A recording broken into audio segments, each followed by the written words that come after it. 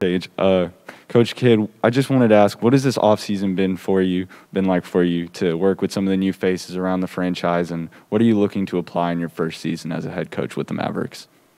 Uh, it's been incredible. Um, I've been around the world um, in a short amount of time.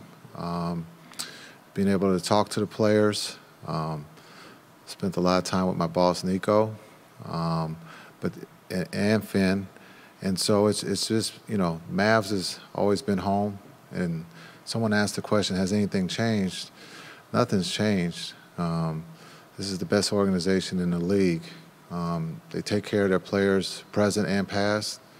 And so um, I'm excited for this opportunity to be able to coach these young men and to achieve the goal, right? We're, we're here to win. But I think the biggest thing is right now I've just been a listener, you know, listening to what they want, what they want to achieve, and how they want this to look. Jason, Jason, obviously having spending time with Luka and Kristaps recently in their native countries, what did you learn about them as players and as people that's going to help you coach the two of them and help them going into this upcoming season that you were able to take away from your visits with them?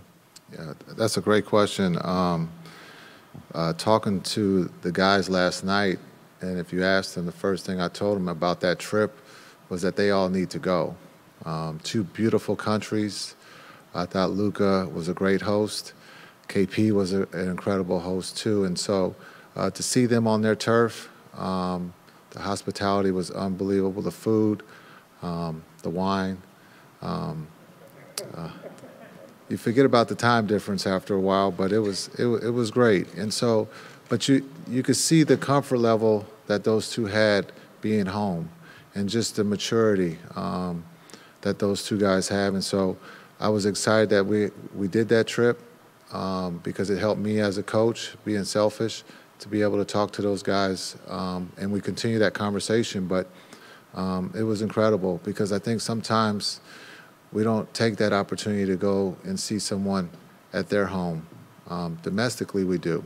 We'll go to Miami, we'll go to Chicago, uh, but to be able to to go over there and see those guys was a win.